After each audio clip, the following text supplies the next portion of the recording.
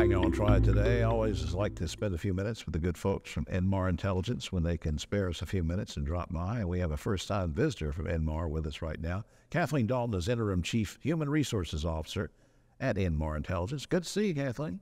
Nice to see you, Jim. Uh, what? Uh, let's just uh, before we get to some other things, the main topic I want to ask you. What? Uh, just for people that maybe you have not tuned in before or, or seen one of our segments with Inmar, uh, what does Inmar do, and, and how do what you do impact on the lives of people every day? Inmar is a data and technology company.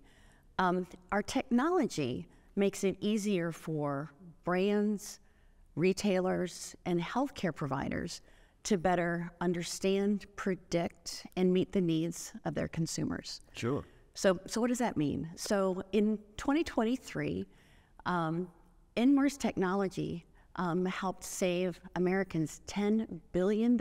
Wow. It was with our um, our incentives and loyalty technology in partnership with grocers. And just knowing what the supply and demand is going to be, and couponing and all that stuff, and you end up saving that much money. That's right. That's right.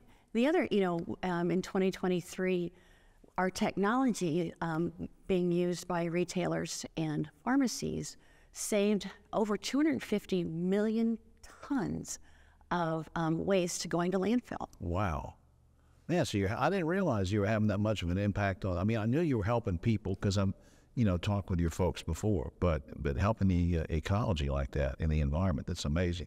Now, uh, you know, Inmar has been around in this area for gosh, nearly 43 years. Yeah. And so people think, wow, it's a big company, it's an important company, you guys do a great job. But what are you looking for future growth? Are you fine where you are? What what are you doing to try to to work for the future? So, so Inmar's been a great company for 43 years. Um, as a matter of fact, 2023 was the company's best year in our history. That was both top and bottom line growth. Um, but you know, we're not satisfied. Um, the leadership team of Inmar is absolutely committed to accelerate to accelerate our growth, um, and with the with the goal of scaling the company and, and essentially doubling our business in the next five years.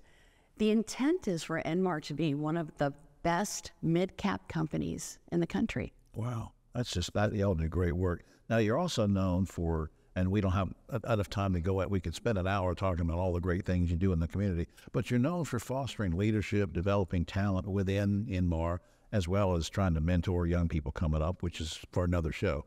But w- when you're talking about leadership and, and developing talent, how are you continuing to do that in today's job market with your associates? So, we're making a really big investment this year. So, um, for context, when we talk about 2023 having been our best year and not being satisfied, we're in the process of very aggressively reimagining how we innovate, reimagining how we go to market, and reimagining how we develop talent. Um, technology is changing so fast. Some pundits will tell you uh, our technology will grow in the next 20 years more than it had in the last 100. And so being prepared to be able to be successful and lead with that level of change, quite frankly, makes Inmar stand apart from our competition. Inmar gets better because of change. I mean, I like to say it's our superpower. Yeah. Um, I'm, I'm, I'm personally afraid of change, but that's okay. But but we Inmar gets better with change um, and, and, and anticipating what's required. And when we do that, as we think about leaders, how do we build the next generation of leader today? That's so we're looking we're looking to develop um, folks that can develop and um, lead the talent with the skills, the mindset, right. the resiliency, and quite frankly, the endurance wow. to be successful while we aggressively grow this if, business. If I, if I wasn't afraid of change and I wasn't so old, I'd just come work for you. That's just, you just, that's a great, uh, you got a great team there. We do have a great Thanks team. for doing this. I, oh, I almost forgot I was running my mouth here. I want to show something on screen. Inmar.com is the website. Inmar.com for Inmar Intelligence to find out more information. Kathleen Dahl, will you come back sometime? I'd love to. Thanks. Appreciate it.